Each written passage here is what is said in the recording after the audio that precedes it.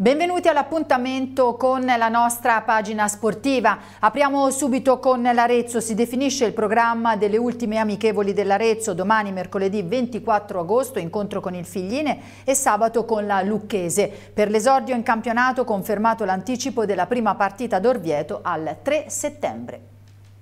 Domani mercoledì amichevole con il Figline e sabato con la Lucchese. È il programma dei prossimi impegni dell'Arezzo. L'allenamento congiunto al Comunale contro i Valdarnesi inizierà alle 16, mentre quello di sabato contro i rossoneri avrà il suo fischio di inizio alle 15.30. Due nuove verifiche quindi per la squadra di Indiani, la quale sta mostrando segnali di crescita consistenti. Per la gara con l'Orvietana allo stadio Ciconia nella prima di campionato c'è da pensare che il livello di condizione degli Amaranto sia ancora migliore. Con gli Umbri nel debutto stagionale si giocherà sabato 3 settembre alle 15.30. L'anticipo porterà benefici a entrambe le formazioni. L'Arezzo sarà seguito da un buon numero di sostenitori e sarà quindi evitata la concomitanza con la giostra del Saracino, dando modo a molti appassionati amaranto di assistere dal vivo al debutto stagionale dei loro beniamini. Una gara che si profila insidiosa. L'Orivetana, che lo scorso anno ha vinto in grande stile il campionato di eccellenza Umbra, riconquistando la Serie D dopo dieci anni, è più di una semplice matricola. Nella trasferta di Grosseto in Coppa Italia la formazione allenata da Gianfranco Ciccone ha vinto 1-0 con un gol di Tomassini, un successo esterno meritato frutto del buon lavoro compiuto in agosto. Una squadra determinata e che la partita in terra maremmana ne ha messo in luce la brillantezza di condizione.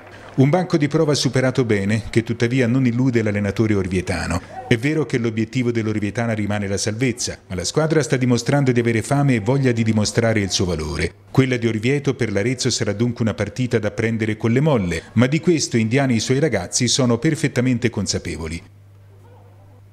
E con l'inizio della nuova stagione sportiva l'Arezzo ha deciso per una gestione interna dell'area marketing. La referente sarà Alessandra Severi, già presente nella stagione 2019-2020 nell'organigramma Amaranto. L'Arezzo si legge in un comunicato ritiene di aver intrapreso in relazione alla presenza di nuove figure professionali un percorso che interesserà sia i partner già presenti che i nuovi. L'intento e la volontà del club Amaranto sono quelli di instaurare un rapporto di vicinanza vicinanza e collaborazione con le realtà imprenditoriali aretine che vada oltre la semplice sponsorizzazione.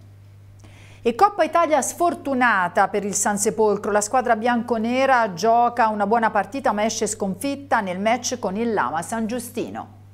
Lama San Sepolcro prima di Coppa Italia finisce con la vittoria dei bianconeri dell'Ama per 1-0 con il tecnico del San Sepolcro Antonio Armillei. Come giudica la prestazione del San Sepolcro? Ma secondo me c'è stata una grandissima prestazione, eh, c'è l'amarezza e la delusione per il risultato, però c'è anche la consapevolezza di aver fatto secondo me eh, un grosso primo tempo e comunque anche rimanendo in 10 la squadra ha comunque continuato a giocare e, e ha creato delle opportunità, insomma, ripeto, cioè, dispiace il risultato, però visto una squadra eh, ben messa in campo, che sapeva quello che, che faceva sul campo, quindi questo è lo spirito giusto che ci deve contraddistinguere da qui in avanti. Mister Guido Vicarelli dell'AMA può essere soddisfatto, ha ottenuto il massimo risultato dalla sua formazione, d'altra parte chi ben comincia, come si suol dire, è a metà dell'opera. All'inizio è importante vincere, poi con calma arriverà condizione e arriverà gioco. Abbiamo fatto solo due amichevoli, ma aspettavo che magari avremmo eh, sofferto un po' fisicamente, però è tutto nei programmi perché stiamo lavorando molto bene, stiamo contenendo anche le, problemi, le problematiche muscolari, quindi volevamo che fosse così la partenza pur rischiando qualcosina. Eh, vince chi la butta dentro, penso che Luca Bartocini abbia fatto un gol fantastico e quindi comunque noi ci prendiamo il merito di aver fatto un gol, loro hanno avuto diverse occasioni, non l'hanno sfruttata e noi ci prendiamo questa vittoria. E nuova avventura per Stefano Butti, Butti che ha il primato di presenza in maglia Amaranto ed è anche il presidente del Museo Amaranto, il nuovo responsabile del settore giovanile della Tuscar. La storica società retina, presieduta da un altro ex Amaranto, Fulvio Rondini, ha una prima squadra che partecipa al campionato di terza categoria e sette formazioni del vivaio. Vorrei insegnare ai ragazzi l'amore per il calcio e la conoscenza della tecnica di base, ha detto Butti. E torna al lavoro anche la SBA. Cambiamo argomento, cambiamo soprattutto sport. La squadra retina presenta un organico rinnovato in vista della stagione che sta per iniziare. Vacanze finite per l'Amene Scuola Basket Arezzo che ha ripreso la preparazione in vista degli impegni ufficiali della stagione sportiva 2022-2023. La formazione Amaranto parteciperà per la quarta volta consecutiva al campionato di Serie C Gold in panchina confermatissimo Marco Evangelisti, coadiuvato da Stefano Liberto che torna nella veste di vice allenatore dello staff della SBA. A curare la parte di preparazione fisica confermato Simone Marraccini. Diverse le novità in rosa rosa rispetto alla scorsa stagione attorno al nucleo storico di giocatori aretini non eh, ci sarà più Matteo Cutini confermato invece Daniele Rossi. Sono arrivati Federico Fornara, Igor Veselinovic, Cosimo Pelucchini e Samuel Lici.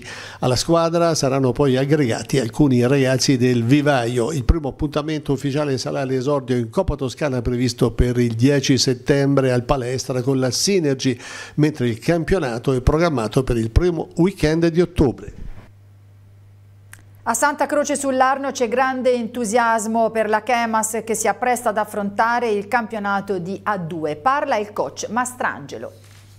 Vincenzo Mastrangelo, nuovo allenatore della Chemas Lapimel, della Chemas Lamipel, Lupi Pallavolo, Serie A2, ma fatto 9 stagioni in A1, 16 in A2, miglior allenatore della stagione, hai vinto il campionato di A2 e la Coppa Italia cosa possiamo dire? Il direttore generale ha detto non ci nascondiamo, puntiamo alla Superlega, subito così partiamo.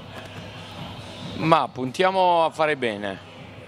Eh, quanto dipenderà da noi, dipenderà da, da tanti fattori durante una stagione.